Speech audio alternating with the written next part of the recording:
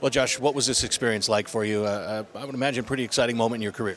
Yeah, it's been great. You know, having the Eagles move move here to Fort Collins and you know playing the strength three games, seeing the fan support, it's been awesome so far. How about this camp? Uh, what were some of the things you took away from it? Uh, just the power skating, just the off ice nutrition, just like the day to day living and what what what what to eat and what not to eat throughout the days that you are training, what, when you're not training. Just little things like that will be a big part of my career. What are some of the things that you, you try to show this coaching staff and this uh, management front office group that you have this opportunity right in front of them for a full four or five days?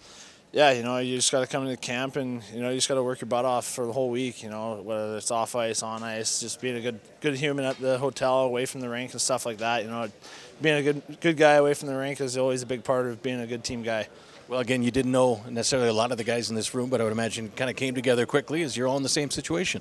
Yeah, you know, I you know I played played against a handful of these guys here, and you know, you know, camps like these guys bond. You know, it's it's short, and you just got to get to get together and get to know each other as, as fast as you can. All right, Josh, appreciate it. Good luck and uh, enjoy the summer. Thank you.